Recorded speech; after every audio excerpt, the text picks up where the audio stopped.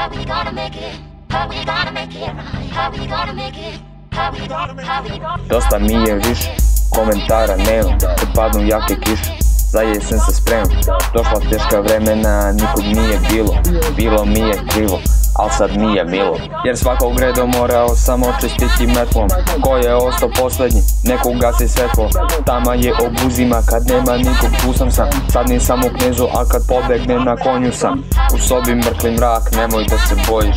Ako ti je prvi put, moraš sam da stojiš. I nemoj da muljakaš da ti uradim nešto Sličan direct, nije isti reći ću ti sve što. Ne govorim zbog njega, nekom drugom se prikradam Samo smara iskrenca, bliski smo ali bolji sam Skinuo sam više nisam žut.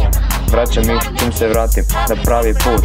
Na putu do sreće i dalje se nalazim. Autograma nema više, ne bih tu da zalazim. Pet ovo brdo, naselje od kartona. Razgovički čovek, leti bez balona. Nikad neću dati da me skinu sa trona.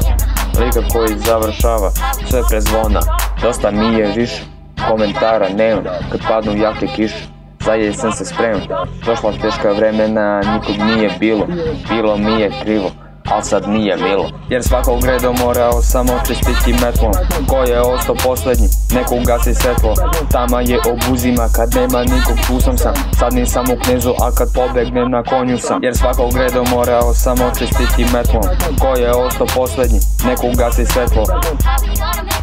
Neko ugasi svetlo Svetlo How we gonna make it? How we gonna make it right? How we gonna make it?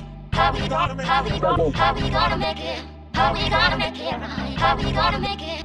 How we gonna how we gonna make it? How we gonna make it right? How we gonna make it? How we gonna make it right?